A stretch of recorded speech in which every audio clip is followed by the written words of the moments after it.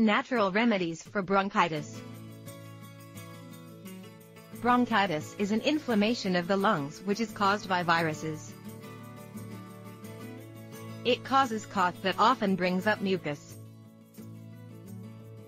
It can also cause shortness of breath, wheezing, a low fever, and chest tightness.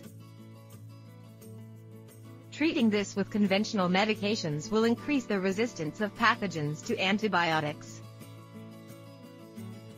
We recommend the disease to cure with natural home remedies. Here are the popular home remedies to treat bronchitis. Eggplant tea is packed with bioflavonoids that improve the antibacterial or antiviral defense. Researchers determine exactly how these compounds work effective in treating these diseases. These compounds contain antioxidants that may protect your cells from free radical damage. These compounds also can eradicate bad bacteria instantly. There are more natural remedies to cure this illness by following the website below.